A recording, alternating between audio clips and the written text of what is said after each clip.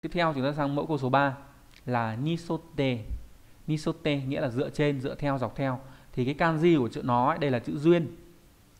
Chữ duyên đây này, ghép bởi bộ uh, gì nhỉ? Bộ thủy là nước với lại uh, bộ gì đấy? Với lại bộ trên là bát và dưới là khẩu đấy. Duyên này trong từ duyên hải có nghĩa là ven biển nhá. Vậy thì duyên này có nghĩa là theo dọc theo đúng nhỉ?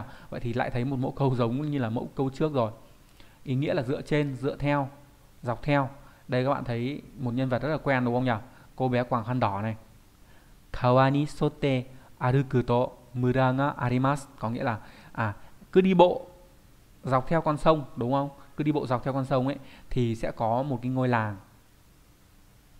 Dakedo go kilomo aruita tokoro, kowai okami ni ata thế nhưng mà sau khi đi bộ 5 cây số, tận 5 cây số thì lại gặp một con sói rất là đáng sợ, đúng không nhỉ?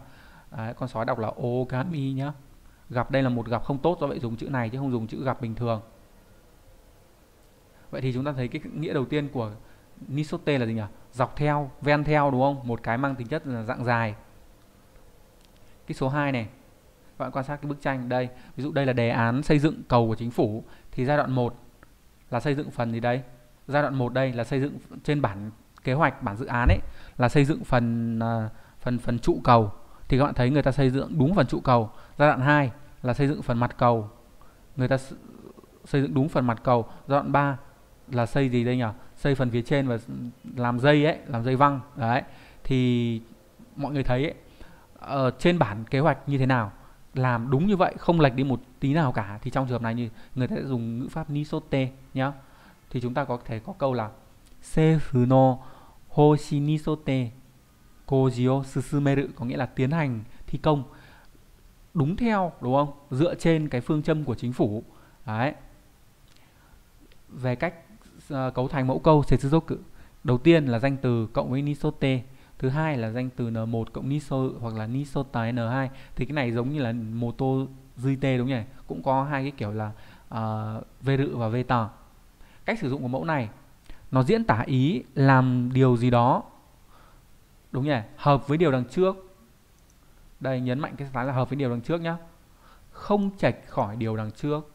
Đây là cái sắc thái mà khác khác với lại mô tô GT rồi đấy. Mô tô GT là lấy đằng trước làm cái cơ chuẩn làm cái căn cứ. Thế nhưng mà thằng này ấy, cũng là như vậy. Thế nhưng mà không được lệch đi một tí nào cả. Phải nguyên si bám theo đúng như cái thế. Đấy là cái sắc thái của cái thằng này. Tiếp theo này.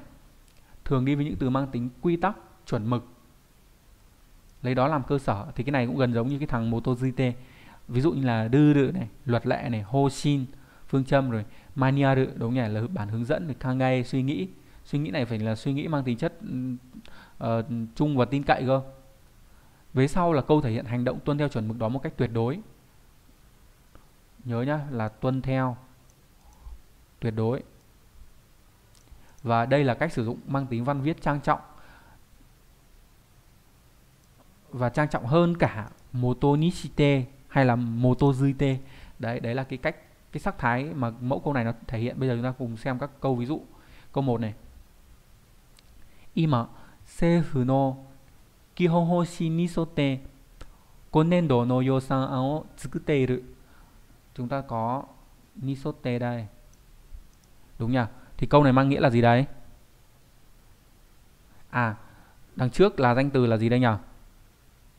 Đằng trước danh từ chúng ta có là à,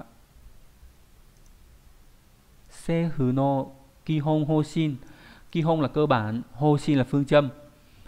Vậy là dựa trên phương châm cơ bản của chính phủ thì làm sao đây nhỉ? Côn nên độ là cái năm nay này. Yosan an, Yosan là dự toán là ngân sách. An là đề án. Vậy câu này có nghĩa là À vậy thì chúng tôi đang soạn thảo đề án ngân sách cho năm nay dựa trên phương châm cơ bản của chính phủ phương châm cơ bản của chính phủ như thế nào ấy thì làm cái này phải bắt phải theo gọi là không được lệch ra phải chính xác 100% theo cái phương châm này người ta đề ra. Cái mô tô GT tê thì có thể lệch lệch một chút miễn sao mà bám bám vào cái đấy lấy đó làm gì đấy nhỉ làm cái căn cứ nhá nhưng cái này phải bám theo đúng như vậy. Cái số 2 này à,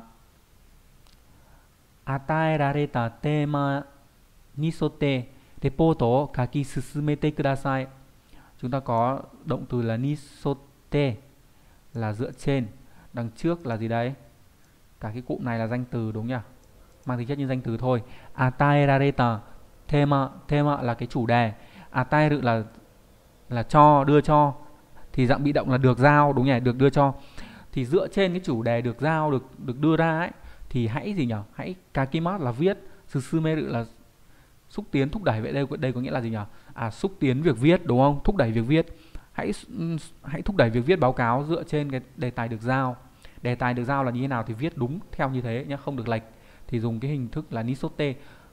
Câu số 3 minasan no gokitai nisota katsuyaku ga dekiru yo ni gambarimasu. Đây chúng ta thấy người ta dùng nisota, đúng nhỉ? Về trước là gì đây nhỉ? Về trước là như thế này. Là minasan no gokitai về sau là cái này. Là dạng định nghĩa, định ngữ đấy, đúng không nhỉ?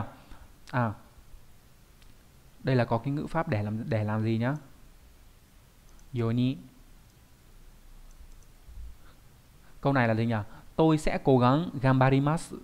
Tôi sẽ cố gắng để có thể, đúng không? Để có thể có thể làm được cái điều gì? Để có thể làm được cái, những cái hoạt động, đúng nhỉ? Những cái hoạt động, những hoạt động đấy có đặc điểm là gì? Là những cái hoạt động ấy mà theo, đúng nhỉ? Theo kỳ vọng của mọi người. Đấy.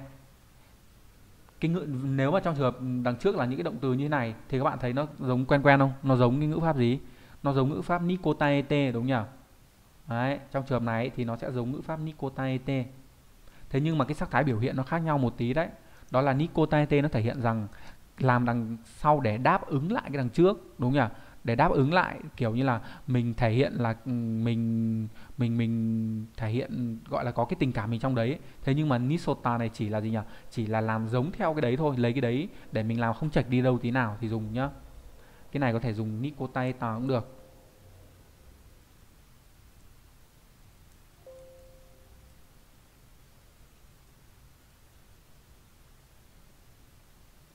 Tiếp theo này câu số 34 uh, 建築家は注文する人の意向に沿う住宅設計をしてほしい là gì nhỉ? Tehoshi là mong muốn ai làm gì? Tôi mong muốn các kiến trúc cả những cái kiến trúc sư ấy sẽ gì nhỉ? Sẽ yu taku seke.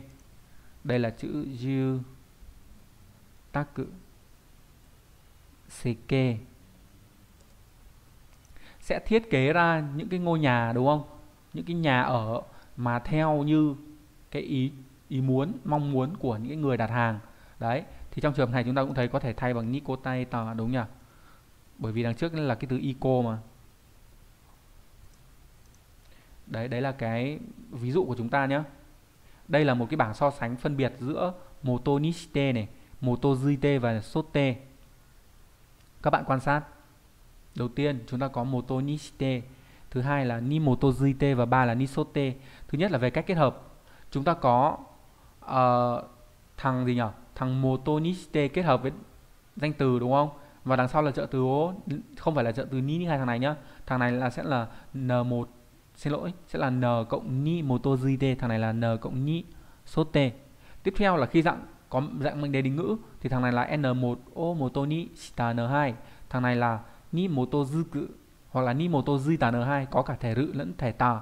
Thằng này cũng vậy, có cả thẻ rự là niso và thẻ tà là nisota. Thế nhưng thằng này không có moto nisuru n2 chỉ có nisita thôi. Đấy là cách khác nhau đầu tiên về cách kết hợp. Thứ hai, về sắc thái mà nghĩa biểu đạt. Ví dụ, với thằng motoniste giả sử nó là ao motoniste b, thì nó mang sắc thái là lấy a làm nguyên liệu để tạo ra cái mới b. Đấy, đây là sắc thái mà cái thằng a nó thể hiện, cái thằng motoniste biểu hiện nhé đó là lấy a làm nguyên liệu để tạo ra cái mới b. Thằng a ni moto gtb ấy, là làm b theo quy chuẩn quy tắc đúng nhỉ? A. Còn thằng a ni số tb ấy, là làm b bắt trước theo trình tự giống hệt a. Chẳng hạn như mình cùng xét câu ví dụ này. Ano seijika wa kokumi no iko ni sote shigoto o shiteru là cái chính trị gia kia đang làm công việc theo đúng như cái ý muốn, mong muốn, nguyện vọng của người dân, thì khi dùng nisote này, nó thể hiện rằng người dân muốn như thế nào thì ông này ông làm đúng theo như vậy, không khác đi tí nào.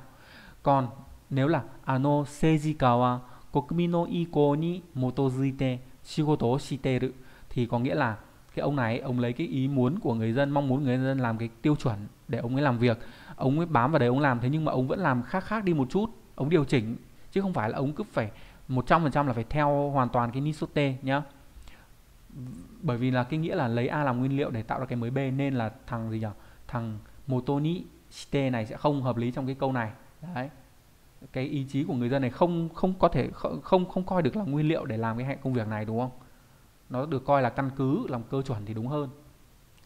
Tiếp theo này với sắc thái nghĩa ấy, là tạo ra cái mới từ nguyên liệu thì chỉ có omotoni được dùng ví dụ hiragana to katakana wa kanji o moto ni tsukurareta mono da.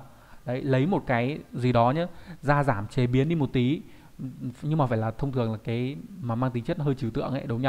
Ví dụ như chữ viết ký hiệu vân vân ấy. Chứ còn những cái ví dụ như là nấu ăn rồi thì gì đây nhỉ? Rồi thì uh, sản phẩm thực tế thì người ta không có dùng motoni như thế này. Câu này là gì đấy? À hiragana to katakana wa kanji o moto ni tsukurareta mono da là hiragana và katakana ấy là được làm từ kanji, thì có thể dùng moto nishite được. Còn trường hợp này không thể dùng moto jite hay là nisote được nhá. Lưu ý.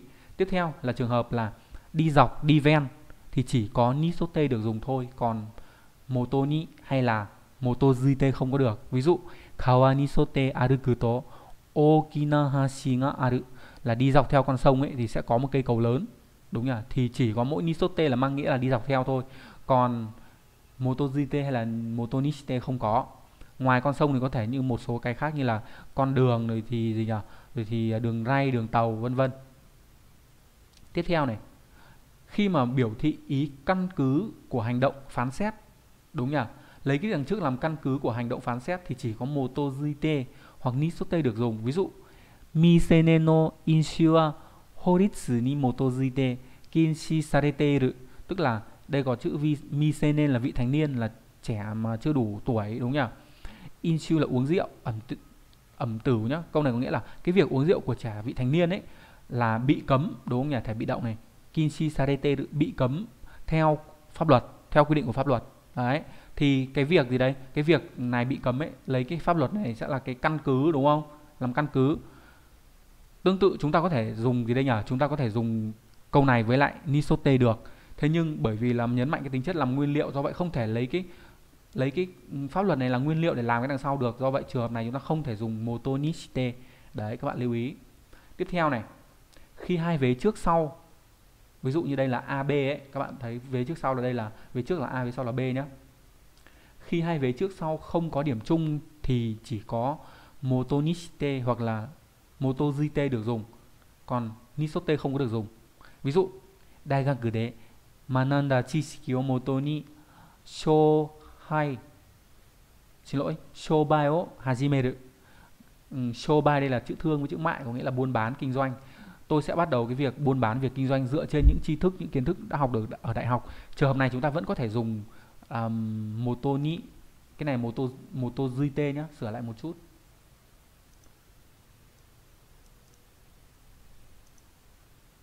Ni moto ni moto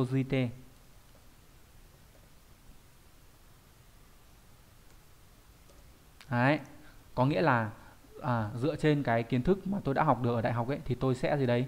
Tôi sẽ bắt đầu cái việc gì đấy nhỉ? Cái việc uh, um, um, kinh doanh. Thì giả sử cùng là được đi thì hai cái này khác nhau điểm nào? À, hai cái này khác nhau ở chỗ ấy, đấy là lấy cái kiến thức này làm cái nguyên liệu đầu vào để làm. Còn cái này là lấy cái này làm căn cứ làm cái quy chuẩn. Nói thì thấy ai mai đúng nhỉ? Nhưng mà đúng bản chất của nó là như vậy đấy. Thế nhưng mà trong trường này thì không thể được, được dùng là nisote được. Đây cái này cũng sửa lại nhé.